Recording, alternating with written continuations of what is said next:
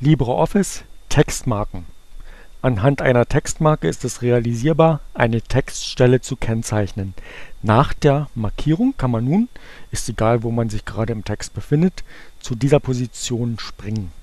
Die Textmarkierung ist der erste Schritt in diesem Handlungsschema. Es folgt ein Klick auf den Eintrag Textmarke im Menü einfügen und zu guter Letzt gibt man der Textmarke einen Namen, hier mal Textmarke 3. Okay.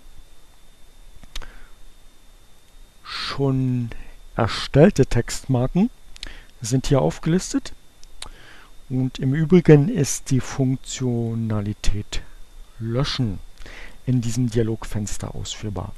Löschen. Okay.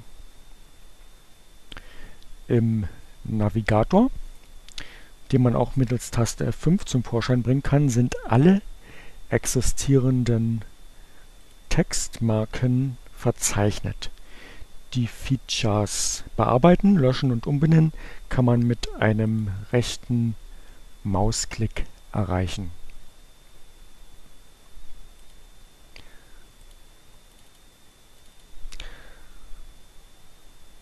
Das Jumpen durch Textmarken ist obendrein auch machbar durch einen rechten Mausklick auf das erste Feld in der Statusleiste.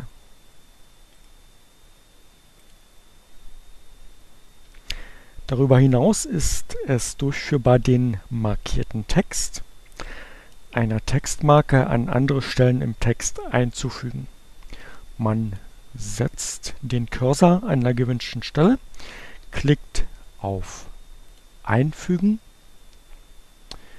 Querverweis, Querverweise, sucht sich eine Textmarke aus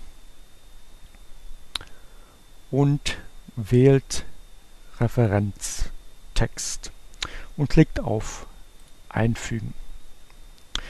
Oder macht einen Doppelklick auf Referenztext